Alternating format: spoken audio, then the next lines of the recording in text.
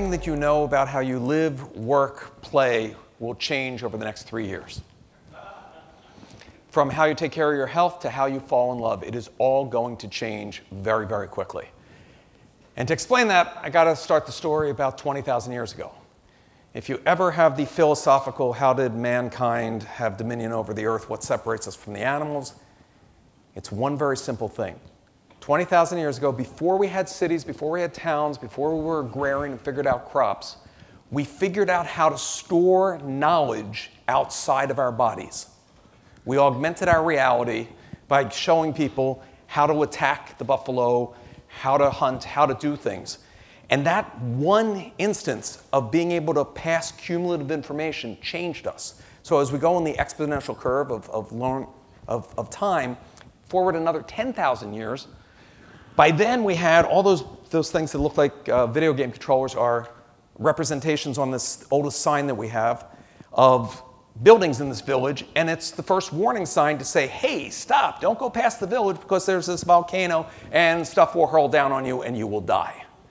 So we learned very quickly how to communicate more and more stuff so we didn't have to learn everything ourselves. And that set us on this path where we quickly, another factor of time, 5,000 years ago, we now have a language. We now can write down complex things, keep track, do we have enough grain to sustain us through, through the summer?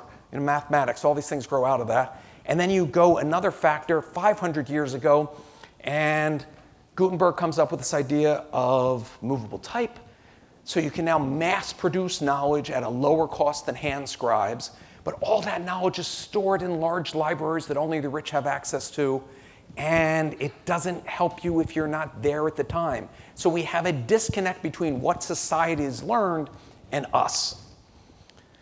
Which comes to the modern sign in Los Angeles, which makes me question do I have a college education? Do I know how to read? And more importantly, am I going to get a $435 ticket if I park here? And it's funny how I know what that ticket cost because I did park. Um, so let me talk about how our future is going to change.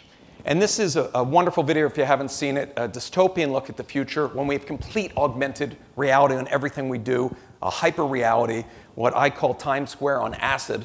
And Imagine a world where you can never, like when it says mind, you know, look to your right when you're in England on the sidewalk so you don't get hit by the cars that are on the other side of the road.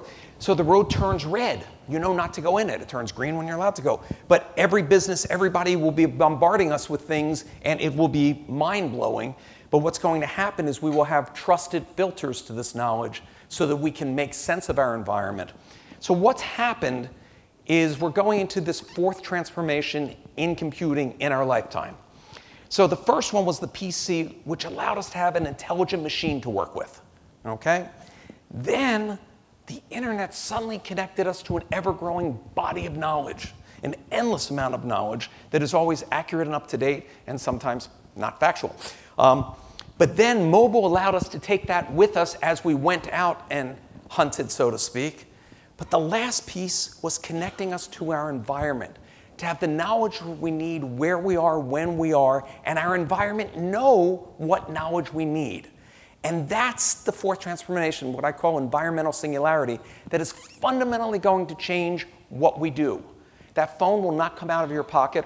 You will always wear glasses. And just give you a sense of how quick this happens, Christmas this season, it's now affordable. Last year, Americans bought 85 million pairs of glasses for more than $100. So the idea of glasses that do more than just focus, suddenly it's only one app away. And uh, next week I have a column in Fortune of what I believe the top 10 apps will be next year in augmented reality. But I'll, I'll touch on a couple of them as we go ahead. So what are the stats that are driving this? Um, this is from Mary Meeker's stuff. You know, we have half the population now on the internet and the rest coming along. Smartphones are ubiquitous. Five years ago, we're on the 10th anniversary of the iPhone. Five years ago, we spent an hour in the US a day on the internet on our mobile phones. Today, it's three hours. Okay? So we are getting used to having access and wanting to be always on, always connected, but we're driving the searching, the sorting, the figuring out what do we need to know. It's not there for us. And then on the commerce side of business, this year we hit the inflection point where internet advertising exceeds television advertising. Those things that you've been shuttling through for 10 years, uh, they now realize you do it. So, where does that take us? That takes us to a $143 billion new market that has no owners. So, every 800 pound gorilla that owns some sector media, telecom, delivery, healthcare, automotive are all now fighting for this new piece of turf. And we're looking at a world that'll have 500 million headsets very, very quickly. And as excited as you should be about virtual reality, and I do a lot with virtual reality with a lot of clients for a lot of spectacles, it's the baby sister. Augmented reality is the ubiquitous everyday. If 10 years ago I told you you'd be looking at your phone for three hours a day, you would put me in the loony bin. So, the sectors, it's not just about hardware. We're not talking about games. We're talking about enterprise solutions for every business. And the rate of disruption, we're in an era of endless di disruption where 100 year old companies are being replaced by companies that are less than 100 days old. And that acceleration will happen quicker and quicker as we have more equality of access to this. You only need two things to survive in this new future insight and persistence. Everything else can be hired and figured out. And insights that comes from data. So what's so great about augmented reality when we've actually had it for a long time? Pepper's Ghost, uh, this week is the 48th anniversary of the opening of the Haunted Mansion. So Pepper's Ghost has been around for over 100 years, that effect. The difference was we had augmentation as a theatrical effect, not as a daily part of a life. On television, that first yard line, it's not really on the field. So we've had that for a long time. By the time the next Olympics come to LA, everybody in the stadium will be seeing those lines. We'll also see when somebody gets injured how that affects your fantasy sports team and those stats live. You'll have your own playback. Everybody will have a customized experience of every form of sports, and we're working on those things right now. So, what's different about Pepper's Ghost and augmented reality isn't what the augmentation is, it's all of the technologies that are below the surface that are coming together for the first time to allow us to solve problems that most of us didn't realize were problems because we accepted that's the way it is. If you're walking through the Amazon rainforest and a snake bites you and you want to know whether it's venomous, you know, now your glasses will tell you what that snake is and how long you have. so Let's go through your typical day that all of you experienced to come to this talk today. First, you can use VR and see every hotel, every resort, every meeting facility before you get there. In the, in the business use case, you know, if you've been trained on one type of uh, Navy destroyer and you're going to be deployed on something else, you can walk the hallways, learn where the equipment, how to do your job. Very big. So that takes you one part. That seems accessible. We get that the minority report type effect where you can point at a building or touch and find out the information that you want. And today you can do the stuff with your phone or with your tablet. You can walk down the street and hold it up and know stuff, and you say, well, that seems like copious. Well, 750 million people did it with Pokemon Go. 750 million people, okay? And it was a very simple application. It was the Pong of augmented reality. And what we learned from that interaction is everything that we've learned on a computer in our lives, we learned in a museum, we learned in a book, was within a frame. The frame is now gone. We're now coming to that singularity of us and the environment. So let's take one of those exponential technologies voice recognition. It is now as accurate as human, and I'm on the wrong side of 50. Voice recognition is now more accurate than me in a meeting. So we put those things together, and let me give you my killer app, number one killer app that will change life. Pretend for a second you're back in those single years. You're taking your trip across Europe, across the Himalayas, you're, you're going to Cambodia, wherever, and you see the most beautiful person that you'd like to talk with. But they speak French or Swahili or Hebrew or Arabic or whatever it is. You travel with two pairs of glasses. We now have at Deloitte in Denver where we can talk and I'm getting subtitles live of what you're saying to me in English or in any other language. So now any two people can communicate. What does that do to how we do business, how we travel, how we break down barriers, how we fall in love? Supermarket and retail. Most people think of augmentation as adding. I come from LA, that's what augmentation is for most actresses. Um, but augmentation, thank you for the pity laugh. Um, augmentation can also be subtracting from the environment. So a typical supermarket has 40,000 SKUs, of which the average American household buys 200 products a year. It's a lot of noise and bombardment. Every brand is trying to call out, buy me, buy me, buy me, and they're all next to each other until it's this cacophony of noise. But you just found out you're diabetic. You don't know all the stuff, you can't remember everything. Now you can walk down the aisle and only the foods that you should have will appear.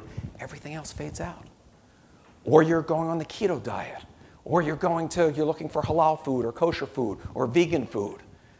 The environment now helps you, and brands then can give you incentives now that they know what those choices are that you're making.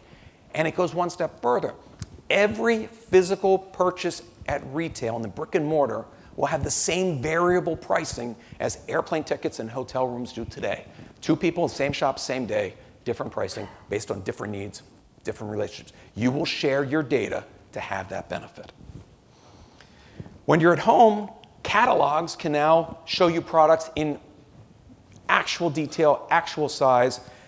You can try on, this is today, uh, 2017, you can go in front of mirrors at certain retail stores or do it at, home with your tablet or phone with the next phones that have come out this, this uh, holiday season, where you can try on makeup virtually.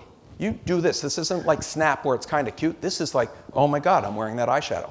Uh, you can see those combinations. It can identify your skin. It can tell whether, you know, here you need a lightener uh, because you have an age spot, or hey, go see a doctor because that might be melanoma. So amazing new things that we can do. Number one re reason furniture is returned at IKEA, 14%. It didn't fit in the space. Spatial recognition, not a good skill that most of us spend a lot of time on. So, you know, most people like, love that Christmas tree. They'll go, oh my God, that's so great. And then you go, oh yeah, I have an eight foot ceiling when you get home. Um, so solves that. The second thing is it's fundamentally going to change education, corporate training, learning. For most of mankind, because we didn't have access to libraries and equally distributed stuff, many cultures revere and still give trophies to people that can memorize the most. If you could memorize the whole Quran, that's a great feat. Memorization, being an apprentice, learning stuff and storing information that is out of date the second you learn it, is something of the past. Knowing how to access that information and have it for you is all you ever have to learn, and it'll be there. So, so you can look at the car. A typical, when I started in business, because I worked on uh, laser discs to repair cars, I'm old, um, but hip the average car came with 40,000 pages of documentation that went to that dealership. For many people that reading English is not the first language, so it was take out good parts and replace with good parts until you find a bad part and replace it and you, the consumer, pays. So who needs efficiency? Now the car can tell you what to do, it can communicate with you, and when you hit that problem that it doesn't know, your glasses have see what I see. Someone that is more experienced can be sitting anywhere in the world and see it and talk to you and walk you through it.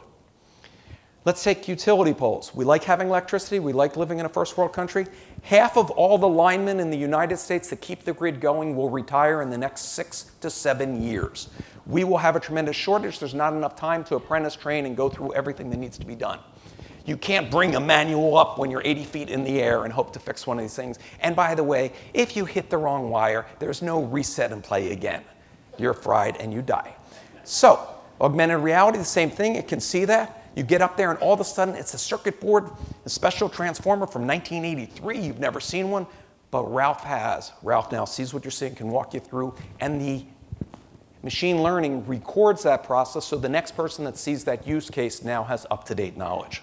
And we're working with tons of companies doing really amazing problems. So, see what I see, having instructions that are always there, and having your equipment and your environment talk to you. So when you're just walking through a factory, your glasses will show you if a piece of equipment is not, the centrifuge is not spinning at the right speed or has the wrong temperature, or an accident could happen on an oil rig. It will give you advanced noting. Each person on that construction site will know where each other person, just as Teslas know. So the world becomes safer, machinery knows what's going on, the big shovel and the big pushy thing and all those things, technical words, um, will now be safer. It also gives you superhuman power. I can now see through walls and see where electrical conduit is. I can see where the water pipes are. I cannot drill into uh, the pipe in the high rise condo like my dad did, and his neighbor downstairs was on a six month vacation. Um, so you can now see plans. Firemen can be in smoke filled buildings and see where every wall and every exit and every stairs are. Here's my favorite one there's a bunch of brave people that climb up those cranes every day all around the world. And then at 10 o'clock, somebody says, I need to move the thing from here to there. And they look at their monitors and they do the little levers. They don't need to sit up there and those cranes fall and they die and they kill other people. They can be sitting in a nice air conditioned office somewhere and they can be doing the crane in Dubai, Denver, Botswana, anywhere. So we're getting greater efficiency, greater communication. In food service, the example of taking stuff away, as you raise minimum wage, there is pressure to reduce jobs. Having people shadow other employees to learn stuff. Now you can sit with VR, learn and practice the muscle memory of putting together the new sandwich. And when you're on the line, you can see what to do. But here's the best part somebody orders the cheeseburger with no cheese. When you go to grab for the cheese, the bin is empty. It's not really empty, but you're seeing it as empty. Remember, these glasses are tracking where your eyes and your eye angle, and you cannot differentiate a mixed reality object from real. So, onboarding the employees happens faster. Working with a company that hires 20,000 new people a year. Think of how much that saves. By the way, you guys are all snapping. I'm happy to send anybody these slides. Just email me, tweet to me, whatever. Um, training. The fundamentals of what training is, the knowledge never leaves the company. The learning of that employee that has been repairing those phone lines since the 1960s and is now leaving, that knowledge doesn't leave with that person. And by the way, they can make supplemental income in their retirement to be that see what I see voice sitting on the beaches of Miami. Okay, and career development. You have downtime, you can now learn other skill sets, be tested, and be ready so people have an incentive to work harder and do stuff. Here's my favorite all time example because I'm an overgrown kid. When you flew out here today, on the tarmac, they load those big metal things under the bottom of a plane. They're filled with overnight packages. And it's a tough job, not the most motivating or exciting job. It wasn't people's career choice for their lives, I'm sure. But if you do it for a long time, you actually get 30% more in, which means most have 30% air, which means one out of three planes don't need to be flying, which means $2 billion a year savings for this particular client.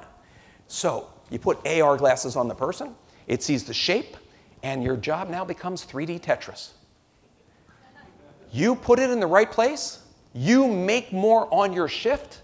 If you're spatially challenged, you find a new job. So everybody wins in this environment, including the person who lost their job, because why waste your life doing something that doesn't make you happy? Um, you want to set up something at home? Number one reason things are, are returned and, and, and problems, we don't know how to do it. It will see it, tell you what to connect, so when your teenagers leave home, you can still operate the equipment in your household. And when they get their own place, you or a bot or a pre existing video can show them how to repair various things in their home. And just by pointing your camera or your glasses at your broken sprinkler head, it will identify what it is, what tools you may want to get, tell you where it's in stock locally. Would you like it delivered same day, you know, drone to you in the future? Or it'll be waiting at will call at your home improvement store. And while you're there, it will give you a physical map where you'll see sprinkler heads to take you right to there. So you'll never get lost in the giant warehouse. It will be smart and help you. For security, it is amazing. Beyond facial recognition of knowing everybody, beyond knowing your temperature if you have a fever or communicable disease, there is a, a new uh, company uh, that we've been working with that monitors your gait and can tell, not that type of gait, how you walk, what your intent is. It, it knows you're up to no good. And when people are not moving the way that they normally should move. So, tremendous positives. Uh, little Johnny gets lost by himself. I, at 18 months, old, was lost at Disneyland. I had a great time. I went on the Jungle Cruise again and again and again. I'm sure my parents were having a heart attack. I hope they were. Um, but now, security can just look at the little kid, identify that face from social media, from wherever, and solve those issues.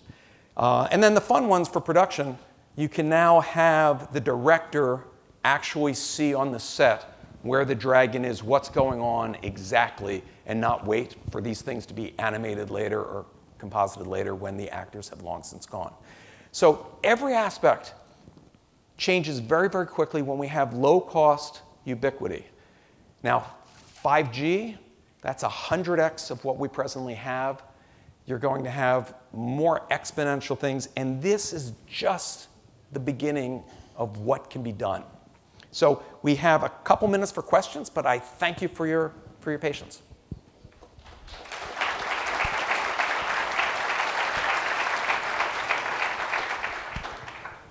Be brave and be kind. Any questions?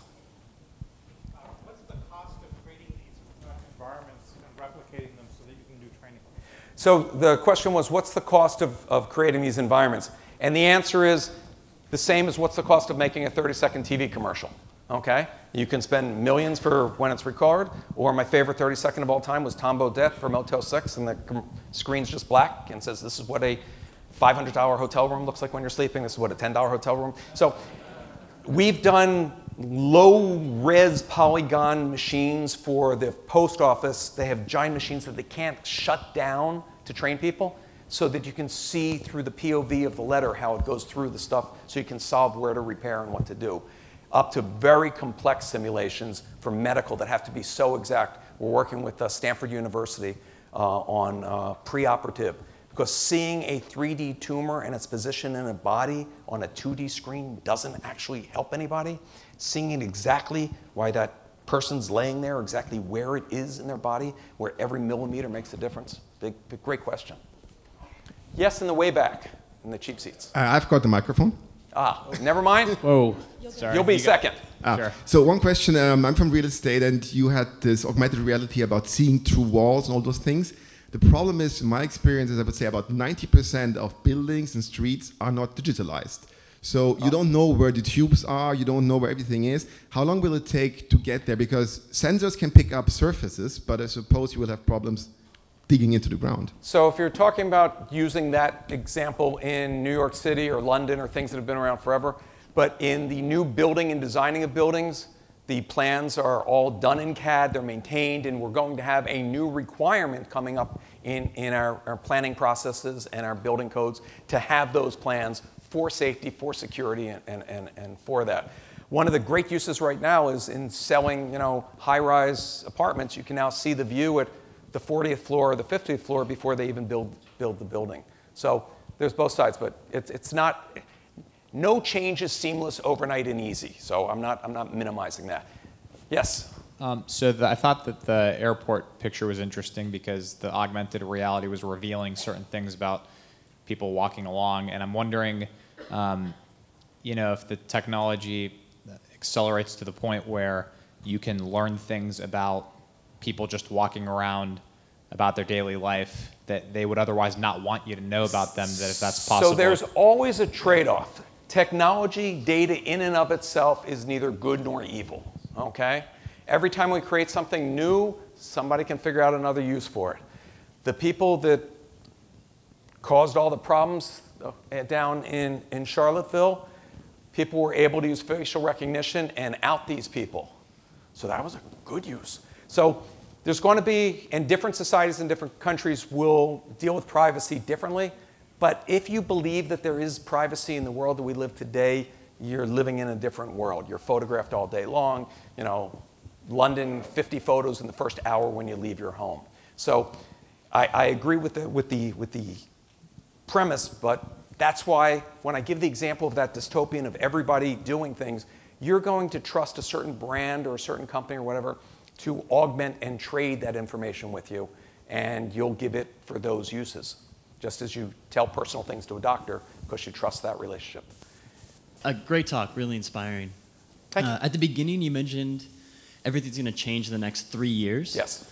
How did you come up with that number, and what's going to happen in the next three years? So We're at the 10th anniversary of the iPhone, and no one would have predicted the rapid growth, how it changed our lives, how you can't go back, and it was just like Henry Ford with the car versus the horse. There's no going back. Disruption is not innovation, it's a fundamental shift and change. If you want my definition of, of disruption and why we know the timing, think back to Raiders of the Lost Ark. So, back using my, my history things, when we ended the Stone Age, we learned how to make metals, we made little knives. Then we made bigger swords, and then you get to that guy with the scimitar in the streets of Cairo, and then Indy pulls out the Smith & Wesson. Nobody's talking about swords anymore. So the idea of walking around with the phone and doing this and seeking and asking and da da da, when you can have that information fed to you as you need it, when your autonomous vehicle knows that you haven't had lunch, knows that you like the hamburger joint that's 1,600 feet ahead, they know that you like it, and they offer you free fries, and you say yes, and the car drives there. That's the world we're going to. Why three years? We learned from Pokemon Go that 750 million people were willing to do a not ideal experience, running around looking at a screen. It's now being used for many other things. In, in Tokyo, there's a great zoo that you can't find from the train station because the streets are like this. So you get off and you see little penguins walking the street and you just follow the penguins. It's really fun. Um, how many of you forgot where you parked your car in the parking lot and would love to, you know, follow, you know, your favorite uh, animated character? So we know that the price of the hardware is down to the same price that people were spending for something that doesn't do it. If you trusted autonomous vehicles and then get over that fear factor, they're safer than humans, um, and you had, had a car that could drive itself and couldn't, and they're the same price, you're going to go. So we don't have the financial barrier. We don't have the infrastructure barrier for many of the killer apps because the places where we need those killer apps are wired, okay? And you no longer have the gatekeepers to capital between you know, uh, ICOs with, with, with coin, uh, venture capital, crowdfunding. You're seeing so many of these things, and the billions that are being spent right now to create these things, they will come out with a robust um, ecosystem. When the App Store opened, it opened with Monkey Ball. Okay? So you, laugh, but you all learned how to swipe thanks to Angry Birds. So it takes very little to change human behavior, and the speed at this will be at that exponential speed. Uh, last question. Uh, well, I haven't gone over here. You've got Hi, the, Jay. Uh, I know you, so this is going to be tough. Okay. Okay, so Singularity University's superpower is having people think about getting to a billion people within 10 years. Right. So, can you think of a killer app that would combine VR or AR and artificial intelligence that could make a difference for a billion people within 10 years? So we know what computer dating did. The idea that anybody can communicate to anybody, to me, just seems, you know, you know, it's Babelfish. It is, it is the, the end of the Tower of Babel. It is such an amazing thing that I think we will take for granted the ability to communicate with anyone else on Earth. That to me is a billion people need that right away. The fact that it also helps the hearing impaired and, and, and, and, and other issues, you know, added benefit. So anyway, welcome to the future, enjoy it, and thank you again for the time.